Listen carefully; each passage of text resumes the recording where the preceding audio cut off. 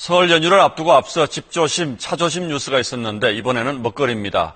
설 특수를 노린 먹거리 밀수가 기승을 부리고 있고 세관 단속을 피하기 위한 꼼수도 상상을 초월합니다. 이호건 기자가 그 현장을 보여드리겠습니다.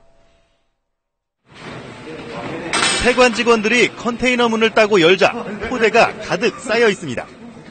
포대 안에 들어있는 내용물은 다름 아닌 중국산 고추. 그런데 자세히 보니 고추 색깔이 두 가지입니다. 중국산 건고추를 밀수하면서 마치 값싼 냉동고추를 수입하는 것처럼 속이기 위해 건고추와 냉동고추를 3대 7 비율로 섞은 겁니다. 중국산 건고추는 관세가 270%나 붙는 반면 냉동고추는 27%라서 냉동고추를 속일 경우 이익을 더 많이 남길 수 있습니다. 관세로 부과를 함으로써 근데 국내 시장에서 국산품과 중산의 조건을 대등하게 유지하기 위한 목적입니다. 근데, 근데 그거를 피해서 들어오게 되면은 그만큼 대 중산이 더 판치게 되고 국내 고추 농가들이 피해를 입게 되는 것이죠.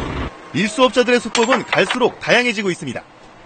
컨테이너 안쪽에 건고추를 숨기고 입구 쪽에 냉동고추를 적재해 가리는 이른바 커튼치기 수법을 쓰기도 하고 컨테이너 가운데나 바닥에 건고추를 숨기는 알박기 수법도 사용합니다. 이런 수법들이 세관의 엑스레이 검색 과정에 적발되자 두 고추를 섞는 꼼수까지 등장한 겁니다. 관세청은 설 명절을 앞두고 먹거리 밀수를 특별 단속해 지난 두 달간 중국산 건고추 87톤, 7억 6천만 원어치를 적발했습니다. SBS 이호건입니다.